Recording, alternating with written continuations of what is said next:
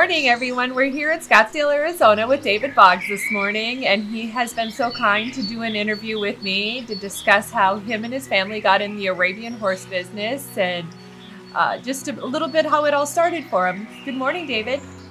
Good morning, Laura. And first of all, I'd like to welcome you to my home. And I'd like to say thank you for doing these very special podcasts during these terrible times. And it's truly, it brightens the days of all of us and keeps the Arabian horse community together. I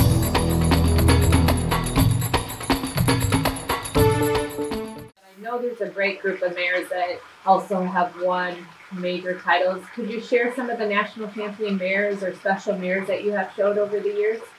Well, the mares have been special uh, to me, Laura. The stallions have been great. The mares are very dear to our hearts. They're they're embedded forever, and each one is a memory and was a journey. So going way back and, and remembering one of the most perfect mares I recall in my first national United States champion was the mare Bas Kelamet uh, from the Michiks Arabians. And she was a mare of almost perfect conformation. She didn't really love to be the greatest show horse, but there's a case where judging was really good because when you walk the horses, she was so perfect before she even stopped her conformation and beauty and quality, and just pulled her right through it. She was really, really something special. The most exciting and, and, and impacting one was sitting with Joe Morrissey when he bought NH Love Potion. Uh, this mare sold at the last auction there for $2.5 million. So there was a little bit of pressure, but I accepted it well because her quality and attitude and beauty was like none other. And she was champion mare at Scottsdale, and she went on to win Star World at that time, yeah. and then United States national champion mare NH Love Potion. Uh, and from her, I went on to a dynamic show horse, a Russian mare, the great Amber Satin. And she was actually twice national champion mare. and she sold to Paolo Gucci uh, just few weeks before her last national champion, a daughter the great Lescott out of the Tornado bred mare. An amazing show mare with the most elegant neck and, and show horse attitude. And, and one of my very favorites forever will be Amber Satin. David and Catherine Straz, they purchased the beautiful mare from Michiks Arabians, La Duquesa, the Spanish bred mare. Big chested mare with a beautiful head and a lot of power. And just thrilling to show for them, and she was the United States national champion there. Helena was probably most noted as the mother of the legendary LD Pistol. She was a beautiful dark bay mare and a body as smooth as silk. It was really a treat to show her to Canadian national champion mare from my friends Al and Marion Coro. Padron Psyche started to produce it from his first foal crop. Uh, Padron to Psyche was his beautiful daughter, JBK Mystic Fawn. And JBK Mystic Fawn just embodied refinement and type, and she was universally loved by everybody, and I don't think ever defeated. And, and she went on to be United States national champion there. And uh, her sister, Mystic Lady, another daughter of Padron Psyche, chestnut mare with a lot of charisma and type. It was very special and really enjoyed presenting her. Uh, she was owned by Fernando and Michelle Pfeiffer and Felix Cantu, a partnership of friends that had this beautiful mare. It was really uh, a, a, great tribute. Uh, Another beautiful United States national champion mare was Europa El Jamal. She was thrilling. I first met Europa while visiting Brazil. She was bred by Haras JM, Jose Elvis Filho. She was beautiful. I believe at that time was one of the few Jamals out of a Polish Krabat bred mare. She was imported to the United States by Felix Cantu, and she took America by storm, winning the United States title. Later, Europa El Jamal made her home in Saudi Arabia. She was magnificent. I remember the charisma of the big, beautiful mare, TF Queen of Hearts. Fabulous, bold mare that was really thrilling to show. She had a lot of presence, a lot of impulsion. She was the Canadian national champion mare, and we had a super fun time presenting her for our friends from Minnesota, Les and Diane Van Dyke. And I cherish the third United States national champion daughter of Padron Psyche. Midwest presented Thai Emerald Bay. She has exquisite type and exudes refinement and elegance. She is now owned and resides at the Royal Jabbar stables of Majdi and Princess Zain in Amman, Jordan.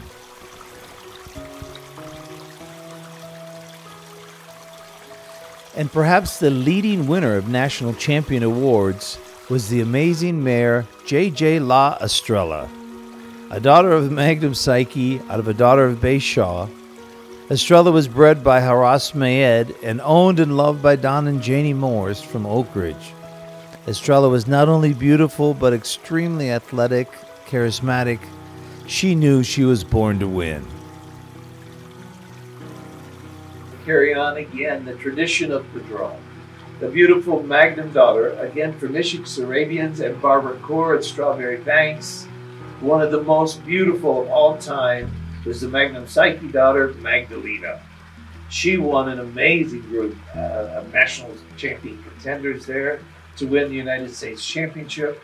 Uh, extremely beautiful, great body. Uh, just absolutely loved Magdalena by Magnum Psyche. And then came JJ La Baronessa. She was the gold champion mare of Scottsdale. She went on to be the United States national champion by Magnum Psyche out of a daughter of Bey Shah. What made it fun was presenting her for Joaquin and Fernando what a thrilling ride it was. What an exciting mare with a brilliant future. Baronessa. Poland, Vittorio was unleashed there. We took Janie Morse. And we had heard about this mare, but somehow we saw her and had to have her. We negotiated the lease of the beautiful Wieza Mocy, a daughter of QMR that had been a previous world champion uh, in Paris. She had been a previous national champion in Poland extremely beautiful, and we were so excited for her arrival in the United States. She had a great trip. Uh, again, she was undefeated. Uh, Wieza Mocy was the grand champion mare of Scottsdale, the gold champion mare at Las Vegas World Cup, and United States national champion was one of the most perfect shows I've ever had. She knew it was her time. It was her last show in the United States before going back to Poland. She left us three beautiful daughters and now some granddaughters. So very special memories of, of the. Her name was the Power of Tower. That's what, what she had seen. And next is one you'll probably never forget. One of the most famous is the black mare R.H. Triana. Triana is a vision of beauty and elegance, uh, supreme attitude, kindness, loves to show another one that even before she stopped, she knew she was the winner because she just had an air about her and an elegance. And I, I loved my time with Triana. I purchased her for Jeff Sloan and his partners, and I believe we started out with Triana in Scottsdale. She was the grand champion, gold champion there. She went on to win the Las Vegas World Cup, champion there, and on to the United States national champion there. Uh, she's not only a beautiful mare, she's a beautiful mama. She's produced many, many champions. We have her daughter Gloriana, that's owned by the partners and everybody that will go to national futurity this year. So the great black mare, R.H. Triana, will live on in, my heart forever. Then D.A. Valentino. He, he, was not only a great horse, but he produced M.D. Hibadala. She was purchased by Jeff Sloan Partners. Uh, fabulous show horse. We won the Breeders' Finals. We had a little warm-up show in the United States, where she became the United States national champion mare. Big, bay, elegant, high-trotting mare. Uh, amazing conformation. Really a blessing, and she's went on to produce some beautiful babies, I know, for Jeff and his partners. Went to Brazil to see the Brazilian Nationals as we do each year. And I remember seeing the beautiful mare Queen Ida. She was in the showroom, I believe, in Helsinki at the time, and she was the national champion mare of Brazil. Uh, stunningly beautiful, perfect conformation. Everybody wanted to buy the mare. We literally had 10 minutes to make a decision. And I called my friend Doug Ledley, who had just started with Orion Farms, and Steve Poor and Christina. And they bought the mare Sight Unseen, which I really appreciated their confidence. Uh, it was an expensive price, but a magnificent mare. Uh, Queen Ida came to the States. She's the winner of Scottsdale, United States Nationals, um, the Breeders' Finals in the fall. She had an undefeated career in the United States and now making some beautiful babies for the Poors at Orion Farms. What a thrill it was to show the Canadian national champion mare, Pink Rose SRA, for Dan and Maureen and Stone Ridge Arabians, a daughter of our national champion and Scottsdale champion Bahir El Marwan, out of a daughter of Valentino. She's exciting and thrilling, and we're ready for her to come back again for the senior mare halter real soon. Again to Argentina, another import and a sister to Azra. SM Miss Finesse was bred by George Milne, a young, beautiful filly. She came over as a three-year-old. And we started her show career. She was the gold champion at the Breeders' Finals. Went on to be the United States National Champion Junior Mare. And now she's going to produce some fillies this year. I think three or four via embryo transfer. And then go on to the Senior Mare competition. We're very proud to have her at Midwest. It was an honor to lead her for the Milbies. And we go on to JJ La Condesa for Haras Bayed. Fernando, what a great breeder you are.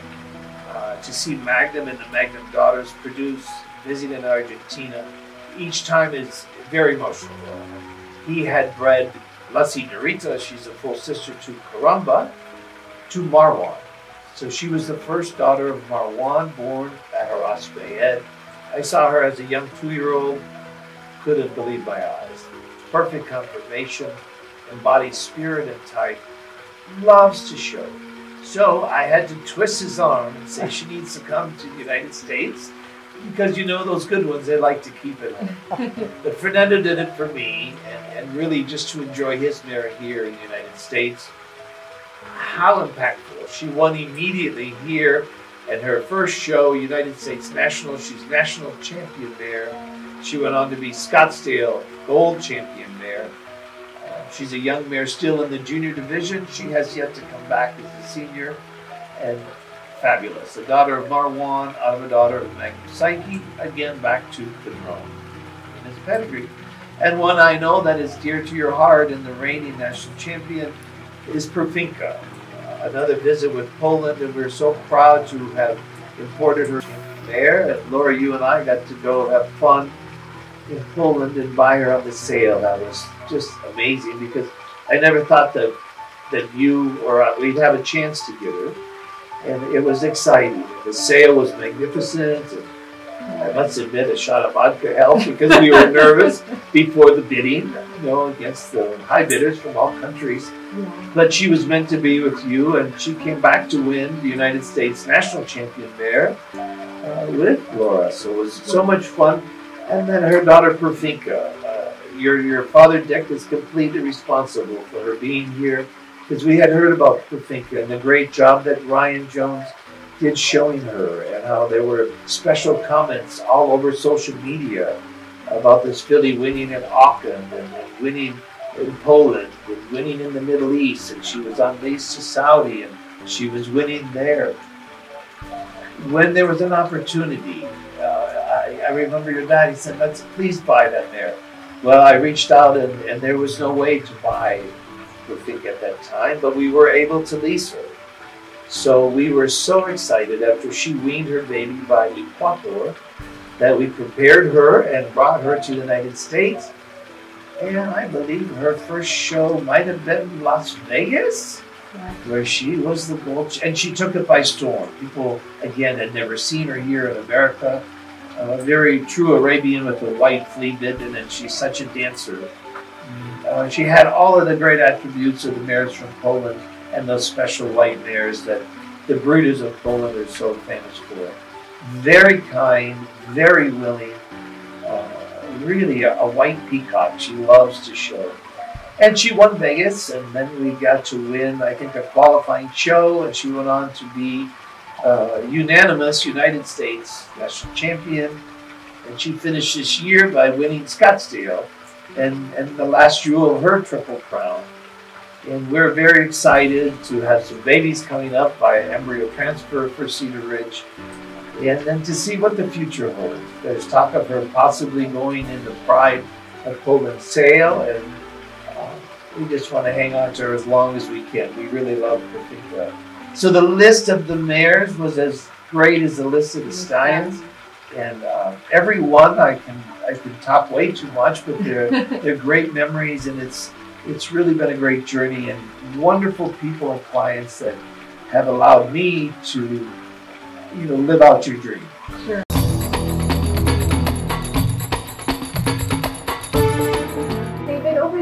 You've had some amazing trainers that maybe started at Midwest or at some time during their career have come to Midwest. Would you like to share with us some of these uh, trainers that have made an impact in their life? I know a lot of them say the same that without you, they wouldn't be where they're at today. So, could you share some of the people that have been with you and what it meant to you? Well, it's very kind of them, Lord. I appreciate their comments. And we really, uh, back to the saying that teamwork makes the dream work. And most of these young guys came like I did. You know, when I visited Lasma for the first time, met Padron for the first time, kind of that door opening, and you get your foot in the door to work with great horses. And these were young men and young women that, that had shared the passion of the horses with me because the only thing that was was extremely important and had to be was that they had a love for the horses and they were ready to give their all. That's 24/7 because sometimes foaling a mare or showing horses at 11 o'clock at night might happen, and you know you you've got to have the passion for it.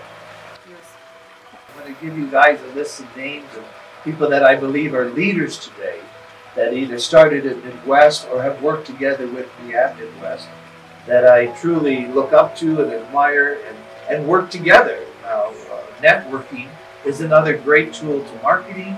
I think that you have to share, and great business comes from that. We all know Terry Holmes. Terry was part of the furniture of Midwest for 14 or 15 years. He learned from the breeding to conditioning to showing, uh, traveling abroad with me for the very first times. Uh, He's a great horseman, a great judge, a great father, and, and manages a great business of his own today. Greg Hazelwood, one of the best halter trainers, if not the best halter trainer in the world. Uh, he just had a way about him that was methodical, and he there was many a national champion. So Greg was always in the background, preparing and working with me. And uh, I'll always appreciate, and I learned much from him and uh, a, a, great talent. And he brought from Brazil Ronaldo Langini from Haras Capim Fino. Many of these young guys started with Palais. Uh, Ronaldo jumped in, and, and Ronaldo not only brought his own talent, but he was able to learn from Greg. So the, the tradition of Midwest just was always refining and, making our technique smoother, quieter, uh, complying with the rules, complying with the horse, the feeling, and, and producing an elegant look that you see in our horses. Sandro Pina, his first airplane ride was to Midwest from Capim Fino. He worked it, uh, passionate about the horses, and I would see him every time when I would visit Calais. Get invited into the United States. It, it was a thrill uh, to watch Sandro grow up and now become one of the leaders of the breed. He does an amazing job. He's a strong force uh, great eye, and and we did have a great team. You, you, you learned well, Sandro. And a special shout out to Gil Valdez, who, in my opinion, is the best conditioner of halter horses probably in the Arabian breed. Gil has an excellent eye and really talented at conditioning and bringing these horses to full scale for the horse show ring. He's also really good with the babies, and I'm very proud of him and Sandro and Arabians International. They make a great team. Arthur Nascimento now with Haras Mayed. Arthur also was at Midwest. He's showing in Saudi. He shows in Argentina. Uh, gifted, gifted handler. Really good with the horses and really blazing the trail for his business. He's doing extremely well. And Mar Gordiano, uh, very dear to my heart. He's the leading guy at Midwest today. The reins are in his hands. Uh, Dougie watched, I knew Dougie when he was 13, 14 years old, him in Hell Cities, uh, in a showmanship class in Brazil. And they, they both came to Midwest. And, and Dougie Mar's skills are limitless. Um, he has learned, I think, better than anyone. And, and if he has 25 or 55, each horse will be handled properly in the right way. And there, there's no extent of gratitude that I can say for Dougie Mar. And Hell Cities Rodriguez was there for 10 or 12 or Hell Cities, I don't remember how many years, but magnificent job. And coming from Capitafino and a great horseman, his father Zeze Rodriguez was, I have enormous respect, a great Western rider. And he produced sons that are great horsemen and these Brazilian guys have really done a remarkable job. And Hell City's better half is Margot Rodriguez, who is one of the best at conditioning, managing, feeding, and just loving the horses. Her organizational skills are the best of the best. And I have to say a special thank you, Margot, for the great job you did with all the national champions you took care of at Midwest. Ricardo Rivera from South America. An amazing young man, and he brought with him a great talent. Ricardo did an outstanding job, especially with all of the kids and the amateurs, a lot of patience, and a brilliant job managing the training division at Midwest.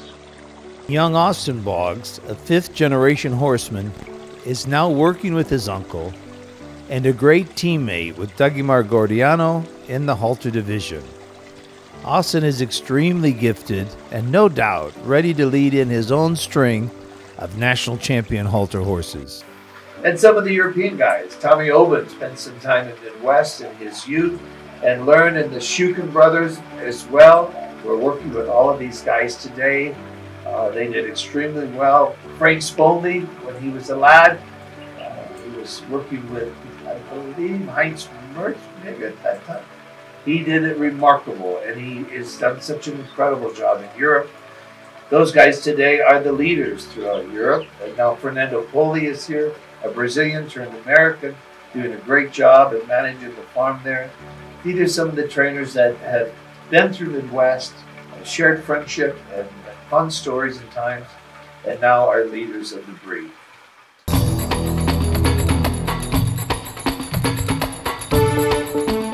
David, over the years, there's been some amazing breeders uh, that have did an amazing job breeding horses, and obviously these pedigrees play an impact. You know, if it was 20 years ago, that you still will see some of this up in the pedigrees today. Can you name some of those breeders that would come to your mind when you think of major impact players or somebody that made a made a stamp in the breed? Yes. I think the easiest thing, Lars, to pick up a pedigree of a champion today most of the world champions and national champions will encompass many, many breeding programs in them today and some of the top breeders. You know, I spoke early in this conversation about Dan Gainey and the look of the Gainey Fountainhead Arabians. Dr. LaCroix with Bask and the, the profound influence that Bask brought to the shoulders and the neck sets and the movement of horses in America. Judith Forbes and the beautiful horses from Egypt and the Egyptian horses with Halima and Sudan and, and, the foundation they made was incredible. Uh, Lanita Peroy, what she did with Ali Jamal, was uh, one of the greatest of all time. Another horse that I would have loved to have had is Ali Jamal. Uh, what a legend and what a legacy that he has left behind. And Paulo Levy, what he did with his program in Brazil, so I think through the United States, South America, encompassing all of these uh, it, it's amazing. Uh, greatest throughout Europe. If, you, if I had to pick just one who has made the most impact on the world today, I, I would give that award to the Polish stud farms. Uh, I've had the pleasure of visiting and doing significant business now with Michałów and Janów and Białka, and, and to see those fields, oh my word, it's it's amazing. And, and they are genetically powerful breeders. And we were blessed to have, you know, mares like Profinka, Yeja and Perfurka, and, and stallions like Pilgrim, and we brought Vittorio to Poland. To have this opportunity to work with breeders like that has, has been a profound joy. The, best breeder in the world, the Polish Stud